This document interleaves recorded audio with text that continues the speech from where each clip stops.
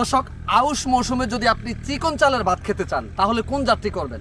দর্শক, আউশ মৌসুমে চিকন চালের সর্বসেরা জাত হচ্ছে বিনা উনিশ ধান। দর্শক, আপনারা আমার হাতে যে ধানটি দেখছেন, এটা হচ্ছে আউশ মৌসুমের সর্বসেরা চিকন এবং সর্বোচ্চ ফলনশীল ধানের জাত বিনা ধান উনিশ। আপনারা যারা বড় আউশ, আমন এই প্যাটার্নে ধান চাষ করে থাকেন, আপনারা ইচ্ছা করলে আউশ মৌসুমে বিনা উনিশ চাষাবাদ করে এই তিন ফসলকে আপনারা সরিষা, বোরো, আউশ, আমন চার ফসলে রূপান্তরিত করতে পারবেন।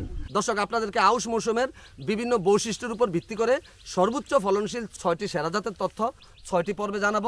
দর্শক, প্রথম পর্বে থাকবে অলবণাক্ততা ও জোয়ার বাটা অঞ্চলের জন্য উপযোগী সেরাজাত বিধান একশো ছয় সম্পর্কিত বিস্তারিত তথ্য এবং সর্বাধুনিক চাষ কৌশল।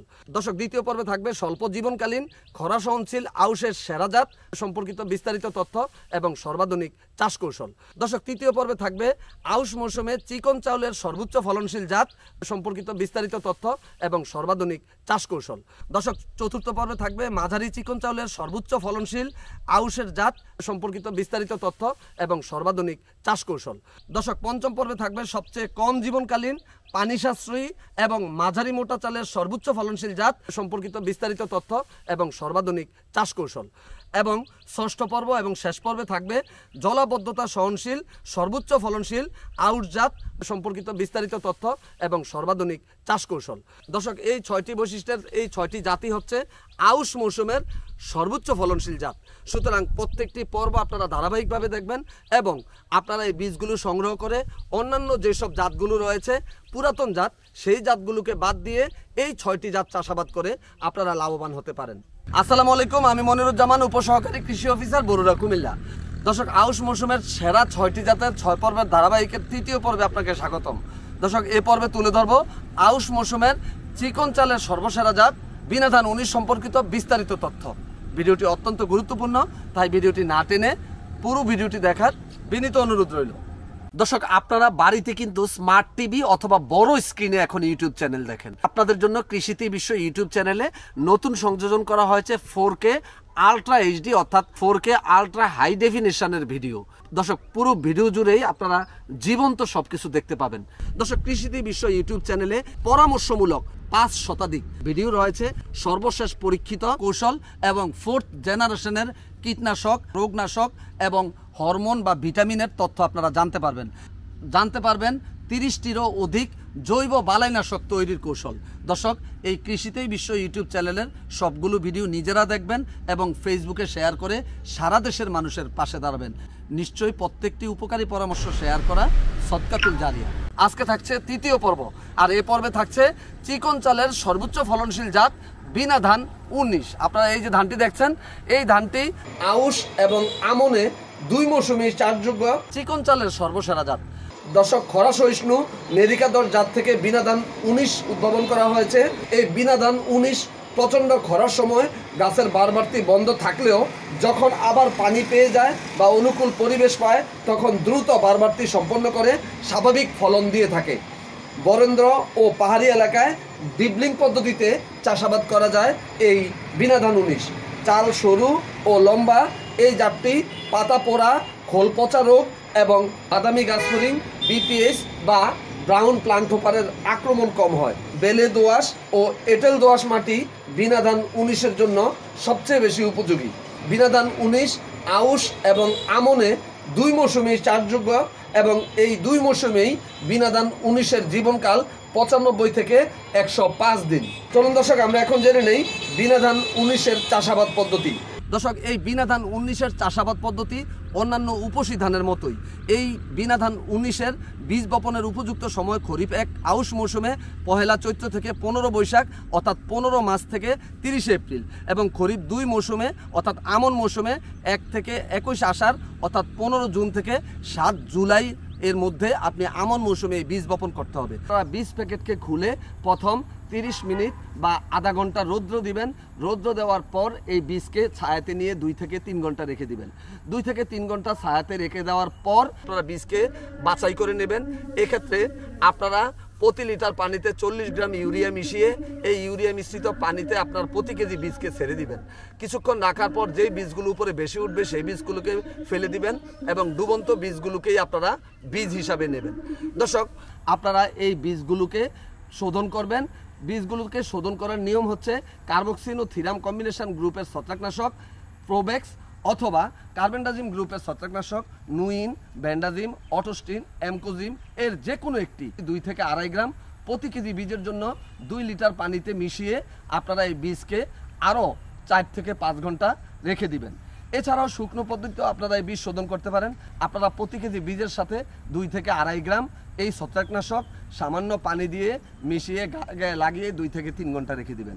তারপর পরিষ্কার পানি দিয়ে ধুয়ে মৌসুমুয়ারি আপনারা এই বীজকে জাগ দিবেন। দর্শক, এই বীজকে জাগ দেওয়ার পর এই বীজ অঙ্কুরিত হবে। তখন আপনাদের প্রয়োজন হবে আদর্শ বীজতলা। দর্শক, ধানের যখন আপনি আদর্শ বীজতলা করবেন, তখন আপনার এই বীজতলায় আপনার চারাগুলো হবে পুষ্ট, চারা হবে নিরোগ এবং চারাগুলো থাকবে সতেজ এবং এই চারা থেকে আপনি বাম্পার ফলন পাবেন। এই জন্য আপনি জমিতে উত্তর ও দক্ষিণে জমির দৈর্ঘ্য অনুযায়ী লম্বা করে সোয়া মিটার বা সোয়া দুই হাত প্রস্থ করে আপনারা বেড করবেন এবং দুই বেডের মাঝে পঁচিশ সেন্টিমিটার নালা রাখবেন এবং বীজতলার চারদিকে পঞ্চাশ সেন্টিমিটার নালা রেখে আপনারা আদর্শ বীজতলা তৈরি করে একদিন ফেলে রাখবেন। দর্শক, আদর্শ বীজতলায় কোনো রাসায়নিক সার প্রয়োগ করার প্রয়োজন নাই। আপনারা পচা ঝুরঝুরে গোবর এবং ছাই মিশিয়ে বীজতলাটি তৈরি করবেন। একদিন পর প্রতি শতক বীজতলায় দুই কেজি হারে বীজ বপন করবেন। দর্শক বীজ বপনের দশ দিন পর কার্বারিল গ্রুপের কীটনাশক, বায়ারের সেভিন পঁচাশি এসপি, স্কোয়ারের সিনারিল, এসিআইয়ের এসিকার্ভ মিমপ্যাক্সের কুবারিল, ম্যাকডোনাল্ডের ভিটাব্রিল, সিটেডের রেবিন, ক্লিন অ্যাগ্রোর ক্লিনভিন এবং সুইট অ্যাগ্রোর সালভিন। এর যে কোনো একটি সাড়ে তিন গ্রাম প্রতি লিটার পানিতে মিশিয়ে অথবা ইথিপ্রোল চারশো গ্রাম ইমিডাক্রোপিড চারশো গ্রাম কম্বিনেশন গ্রুপের বায়ারের গ্ল্যামোর শূন্য দশমিক দুই গ্রাম প্রতি লিটার পানিতে অথবা বুপ্রোপেজিন গ্রুপের অটো টেকমো চল্লিশ এসসি স্কোয়ারের অ্যাওয়ার্ড, সেতুর সানপ্রোজিন, এর যে কোনো একটি।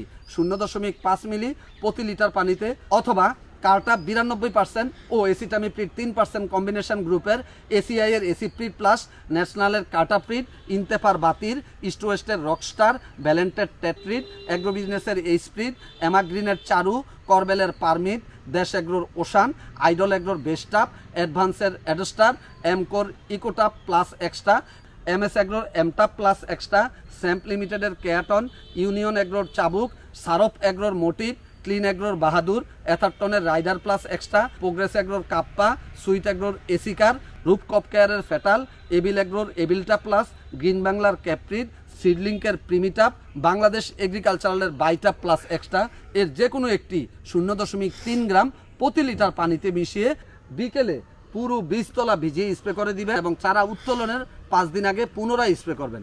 অবশ্যই বীজতলায় দুইবার কীটনাশক স্প্রে করবেন।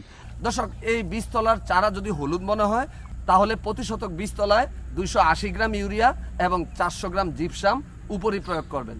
দর্শক, এই বিনা ধান উনিশ চাষাবাদ করতে গেলে আউশ মৌসুমে চারার উপযুক্ত বয়স হচ্ছে বিশ থেকে পঁচিশ দিন এবং আমন মৌসুমে চারার উপযুক্ত বয়স হচ্ছে পঁচিশ থেকে তিরিশ দিন। আপনারা এবার মূল জমিতে চাষ দিয়ে মূল জমি প্রস্তুত করবেন।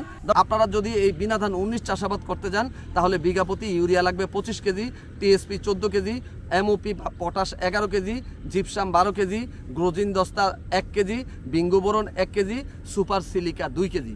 প্রথম চাষের পর সম্পূর্ণ টিএসপি এবং শেষ চাষের আগে ইউরিয়া সার বাদে বাকি সকল সার প্রয়োগ করে মই দিয়ে একদিন জমিকে ফেলে রাখবেন এবং একদিন পর সারি থেকে সারি বিশ সেন্টিমিটার বা আট ইঞ্চি, গোছা থেকে গোছা পনেরো সেন্টিমিটার বা ছয় ইঞ্চি দূরত্ব দিয়ে নয় লাইন পর এক লাইন ফাঁকা রেখে লগো দিয়ে আপনারা জমি রোপণ করবেন।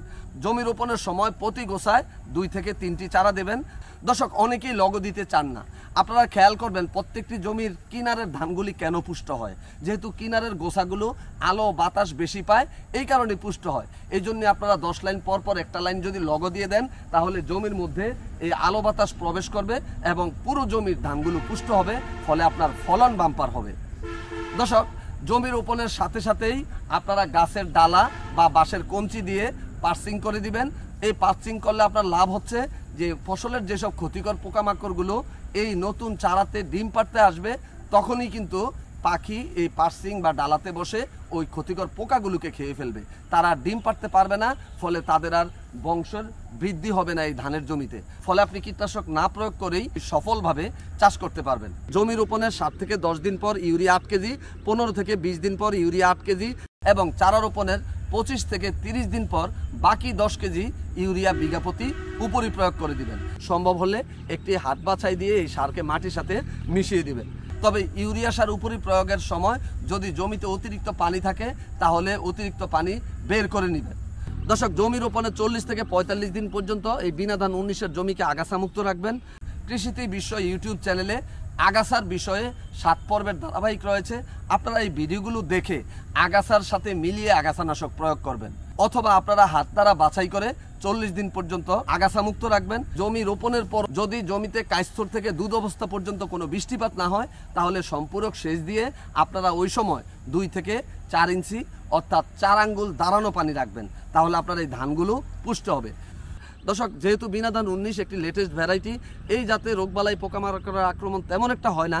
তারপরেও যদি রোগবালাই পোকামাকড়ের আক্রমণ দেখা দেয়, তাহলে আপনারা কৃষিতে বিশ্ব ইউটিউব চ্যানেলে ধানের সকল রোগ পোকার ভিডিও রয়েছে ভিডিওগুলো দেখে আপনারা ব্যবস্থাপনাগুলো নেবেন। দর্শক, আপনি যদি আউশ মৌসুমে পয়লা চৈত্র থেকে পনেরো বৈশাখ, অর্থাৎ পনেরো মাস থেকে তিরিশে এপ্রিলের মধ্যে বীজ বপন করে থাকেন, তাহলে পঁচানব্বই থেকে একশো পাঁচ দিনের মধ্যেই পনেরো থেকে তিরিশে শ্রাবণ বা তিরিশ জুলাই থেকে চোদ্দোই আগস্টের মধ্যে আপনি ধান কাটতে পারবেন। দর্শক সঠিক সময় যদি আপনি বীজ বপন করে থাকেন, তাহলে আপনার এই বিনা ধান উনিশ, আপনারা আউশ মৌসুমে গড় ফলন পাবেন পাঁচ মেট্রিক টন, অর্থাৎ বিঘাপতি প্রায় সতেরো মন। দর্শক, আমন মৌসুমে যদি আপনারা বিনা ধান উনিশ করেন, তাহলে এটার হেক্টর প্রতি গড় ফলন পাবেন সাড়ে পাঁচ মেট্রিক টন এবং বিঘাপতি ফলন পাবেন সাড়ে আঠারো মন। দর্শক, শেষ করব। আউশের সর্বসেরা ছয়টি জাতের ছয় পর্বের ধারাবাহিকের আজকের তৃতীয় পর্ব। দর্শক, চতুর্থ পর্বে থাকবে মাঝারি চিকন চাউলের সর্বোচ্চ ফলনশীল আউশের জাত, সম্পর্কিত বিস্তারিত তথ্য এবং সর্বাধুনিক চাষ কৌশল। দর্শক, চতুর্থ পর্বটি দেখার আমন্ত্রণ জানিয়ে শেষ করছি আজকের তৃতীয় পর্ব। ভালো থাকবেন, ভালো রাখবেন। এই প্রত্যাশায় শেষ করছি। আজকের কৃষিতে এই বিষয় আল্লাহ হাফেজ। দর্শক, যারা আমার চ্যানেলটি আজকেই প্রথম দেখছেন, তারা পরবর্তী ভিডিওটি দেখতে চ্যানেলটি এভাবে সাবস্ক্রাইব করে পাশে থাকা বেল আইকনটিতে অল ক্লিক করে আমার সঙ্গেই থাকুন। এভাবে একটি একটি করে প্রযুক্তি ছড়িয়ে যাবে সারা দেশের কৃষক ভাইদের কাছে।